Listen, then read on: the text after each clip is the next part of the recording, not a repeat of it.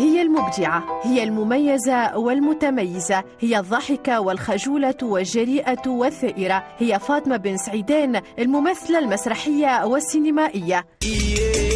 الجمعة الجاية سليمو يغلق 30 سنة. نجلة نجلة نجلة نجلة.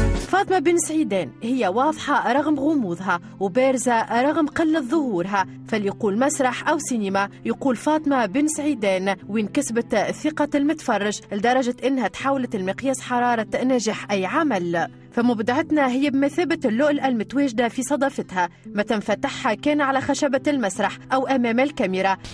شبت. وأنا نستنى فيه.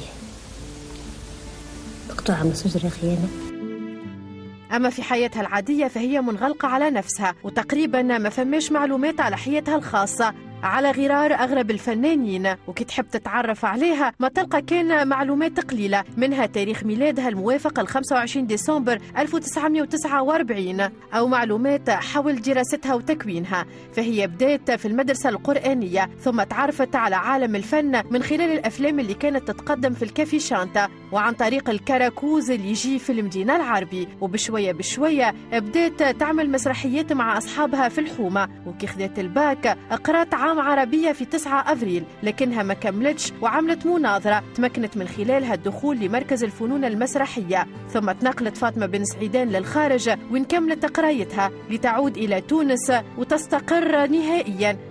فكانت وجهتها الأولى مسرح الهواة عام 1978 أما المنعرج الحقيقي في حياتها فهو من خلال المسرح الجديد مع الفاضل الجعايبي والفاضل الجزيري وجليلة بكار. أما عن مخزون فنانتنا فهو كبير على غرار أعمالها كيف عرب ويا سلطان المدينة وعصفور السطح هذا ونلقاو أعمال أخرى كيف آخر فيلم وصيف حلق الواد والتلفزة جاية. تلفزة ألمانية جاية عندنا تصور. نحب نقدموا حاجة سمحتنا؟ ماذا بيك؟ توقفي معنا. أما بالنسبة لمشاركتها المسرحية فهي تتمثل في عمل كوميديا وفاميليا ويحيى يعيش. تفضل أستاذ الكريم لك المزدح فازدح هذه كانت قطرة في بحر أعمال الفنانة فاطمة بن سعيدان الفنانة المهووسة بعالم المسرح والسينما واللي نجموا نصفوها زادة بسمكة المدينة العربي المكان اللي ما تجم تعيش كان فيه وما تجم تتنفس كان هواه فهي تستلهم منها إبداعاتها وتميزها اللي تخرجها أمام كاميرا السينما وعلى خشبة المسرح عشقتها لولا